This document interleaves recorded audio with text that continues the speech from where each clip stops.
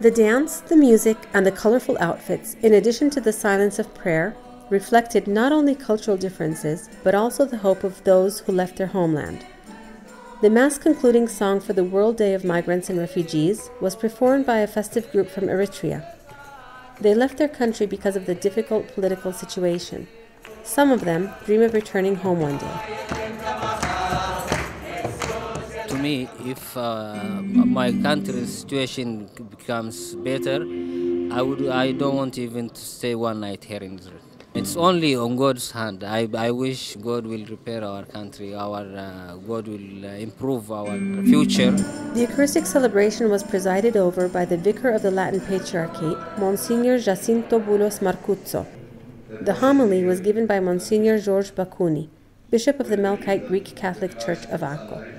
Taking inspiration from the Gospel of the Good Samaritan, Bacouni highlighted the need for the conversion of the mind to Christ and the need for charity to foreigners.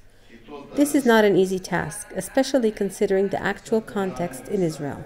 Who are in a very difficult situation for the moment uh, because there is a law that was edicted that all the asylum seekers should leave the country before the end of April. So we will have a, a difficult period. and we pray God that there must be some, some solution to be found. The coordinator of the pastoral care of migrants stressed the fundamental need of human dignity to be guaranteed for this population. Pope Francis himself expressed concern in his message for the World Day of Migrants and Refugees 2018. It is a common responsibility of the countries that welcome them. There are laws, international laws to protect those who come, the migrants and the asylum seekers. But also it is a mission of the church, and I think that the Pope Francis is really uh, reminding us of that. Uh, not only the last letter that talks about welcoming, promoting, protecting, and integrating migrants and refugees. According to Father Rafic, today in Israel there are about 240,000 migrants and 40,000 refugees who came from countries like the Philippines, India, Sri Lanka, Romania, Eritrea, and Sudan.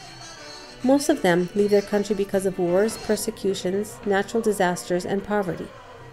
The option to leave the country of origin becomes mandatory compared to the desire to stay.